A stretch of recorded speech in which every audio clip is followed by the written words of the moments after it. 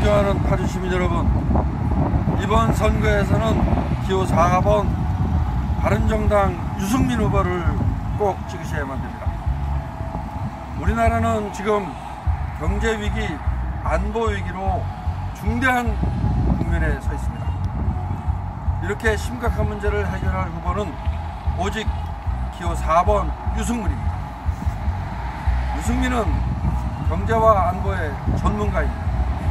여러분들이 가가호호 배달된 홍보물을 비교해 보시면 과연 유승민이 왜 전문가인지를 아실 수 있을 겁니다.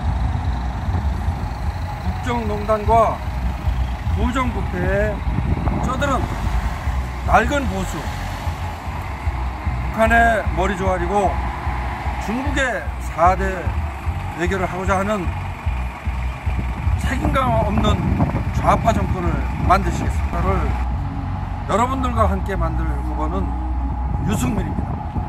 기호 4번 바른정당의 유승민 우리나라를 절대로 부끄럽지 않은 나라로 만들 것입니다. 여러분들의 후세에 남겨줄 대한민국을 부패 없는 나라, 자존감 있는 나라, 새로운 나라, 희망의 나라로 유승민이 새롭게 만듭니다. 보수는 책임과 헌신과 봉사하는 데 의미가 있습니다. 보수는 절대로 부패하지 않습니다. 보수는 당당합니다. 정의롭습니다. 그러한 보수 정부 유승민 기호 4번의 유승민이 만듭니다. 시민 여러분 5월 9일 여러분들의 권리 4번 유승민에게 던져주시기 바랍니다. 감사합니다.